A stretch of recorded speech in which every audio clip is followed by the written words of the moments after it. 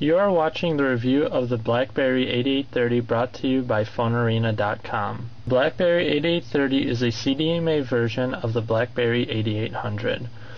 As this is a CDMA phone, world travel would be impossible without expanding the CDMA network or supporting GSM roaming. RIM has included the 900 and 1800 MHz band on a GSM network for world roaming. To make messaging and texting easier, the 8830 offers a full QWERTY keyboard. However, due to the small size of the keys, we had difficulties typing at times. We either hit keys simultaneously or some of the keys did not provide enough feedback. The 8830 has a large, wonderful 2.6 inch screen.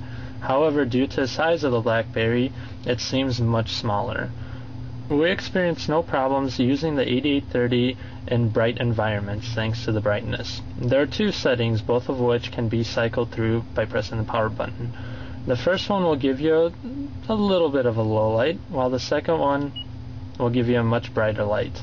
If you do not like going through all these steps, there is also an automatic light sensor which can be accessed through the options menu. The email component is one of the most vitals on all Blackberries and here it does not disappoint. You can scroll through all the emails with the trackball going up and down. All the emails are also categorized by their date that they were received. When it comes to managing your emails, you can choose to delete them either simply just on the handheld or the handheld and mailbox. The only multi-delete that was found is deleting all before a prior date. To receive messages, you can either wait for the automatic reconcile to finish, or you can select reconcile now manually from the menu.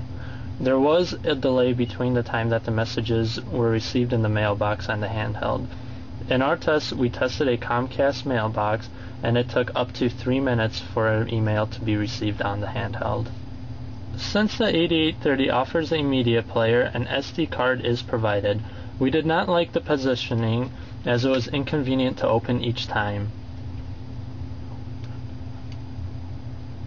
The 8830 performed very well in our reception and battery test. We were able to receive signal everywhere that we went, and we did not receive one drop call. We were able to receive 5 hours of talk time, which is much higher than the 3.66 hours that the 8830 is rated for. The 8830 is a wonderful business phone. If you're looking for a phone with a solid email client, look no further. The full QWERTY keyboard gives you great abilities when texting and messaging. If you're looking for a phone where you want to text and just capture your night out, and then look elsewhere. Otherwise, this is a wonderful phone for you.